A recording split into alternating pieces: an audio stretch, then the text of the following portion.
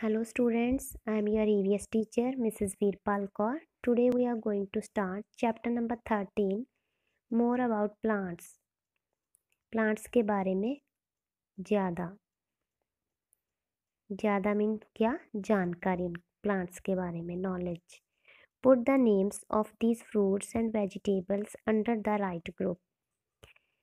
There are some vegetables and fruits we have to write in their Group first see potato potato is a vegetable carrot vegetable banana fruit guava fruit onion vegetable mango fruit grape fruit pumpkin vegetable apple fruit spinach vegetable we learned about the different kind of plants in class first हमने class first में कई तरह के अलग अलग तरह तरह के प्लांट्स के बारे में पढ़ा है।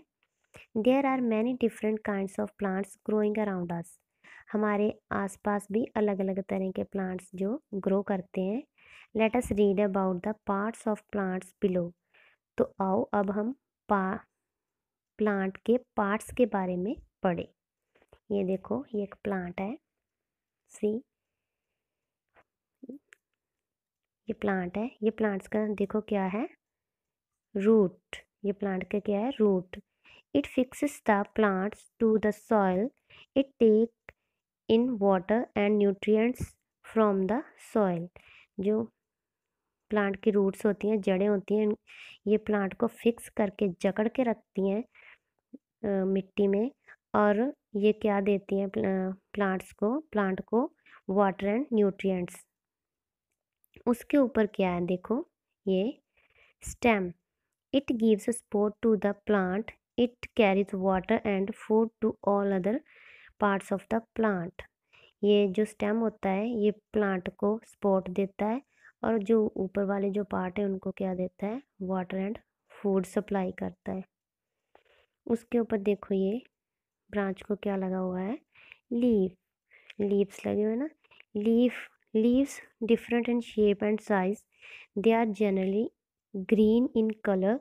The food for plant is prepared inside the leaf in the presence of sunlight, air and water. ठीक है जो पत्ते हैं वो प्लांट के लिए खाना बनाते हैं सनलाइट एयर और वाटर की मदद से next part see flower flower the flower forms the fruit. जो फ्लावर है, वही क्या, किसमें बदल जाता है बाद में? फ्रूट में फ्लावर से ही फ्रूट बनता है। ये भी एक प्लांट का पार्ट है, फ्लावर भी। उसके बाद देखो fruit. Fruit, most fruit contain seeds. ज़्यादातर जो फ्रूट्स होते हैं, उनके अंदर क्या होते हैं? बीज होते हैं। अ फ्रूट में हैव वन ए फ्यू और many seeds A mango has only one seed. Apple and orange have a few seeds. Papaya and watermelon have many seeds. Okay?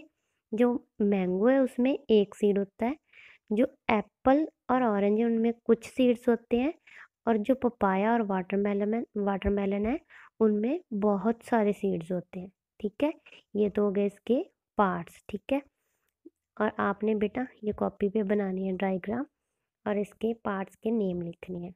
No need to write the work write only part name now see parts of a plant the seeds contain a baby plant inside which grows into a new plant when it gets the right amount of air, water, sunlight and good soil.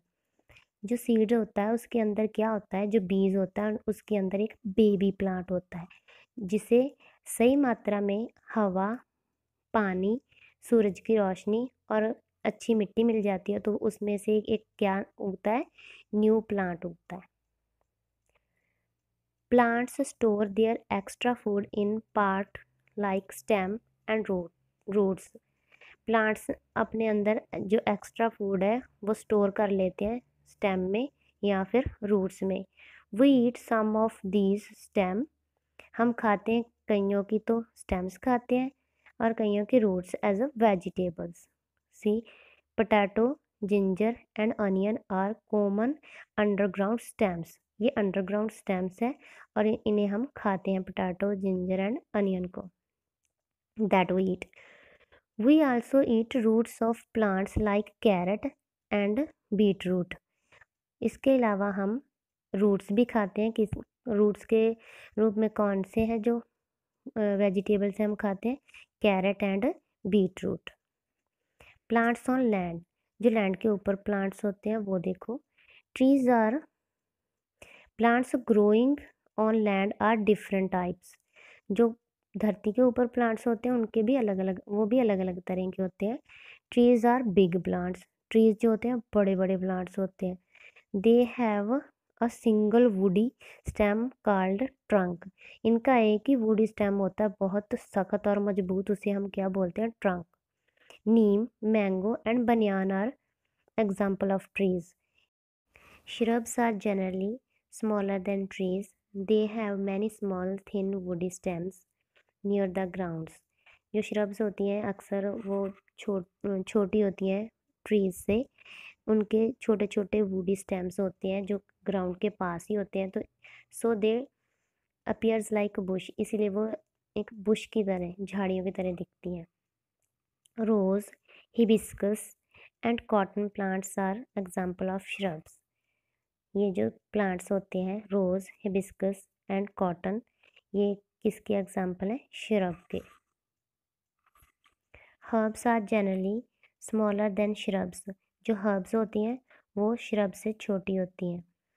They have single non woody stem इनका एक ही बिना wood वाला stem होता है। Mint coriander and spinach are the example of herbs climber climbers have weak stem and need the support of other plants wall and stick for climbing जो climbers होती हैं, इनके नाम से पता चलता है कि ये ऊपर ऊपर क्लाइंब करती हैं। इसके लिए इनको क्लाइंब करने के लिए किसी प्लांट की या वॉल की या स्टिक की ज़रूरत होती है, जैसे grape vine bean bitter gourd and are examples of climbers creeper creeper have weak stem and grow along the along the ground watermelon and strawberry are the examples of creepers जो creepers होते हैं ground के ऊपर ऊपर ही बड़े होते जाते हैं।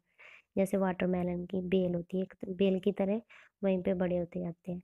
Plants in water some plants grow in seas pond and lakes lotus water lily water chestnut hyacinth and duckweed duckweed are some common water plants ये पानी में होते हैं ये वाले सारे plants okay students next lesson we will read in our next video